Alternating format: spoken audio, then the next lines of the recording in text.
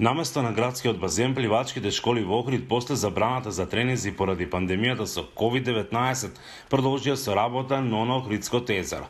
На импровизирано направено пливалиште, 80 на деца ги учат техниките на пливањето.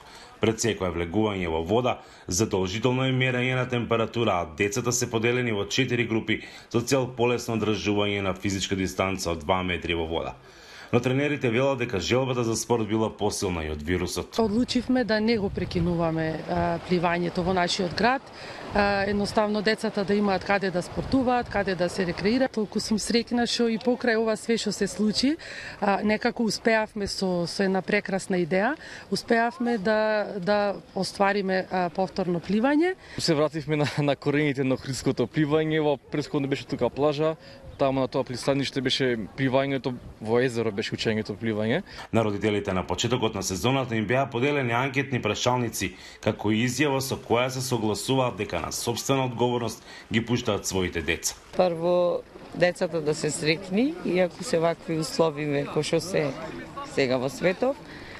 Битно е физичкото здравје да се одржува, менталното здравје кај децата и кај нас. Задоволни сме покрај ситуацијава што беше месециве уназад, децава малце физички да се мал поактивни. Со работа почнаа и фудбалските школи, но и овде пред да се излезе на терен, задолжително е мерење на температура и вршење на дезинфекција.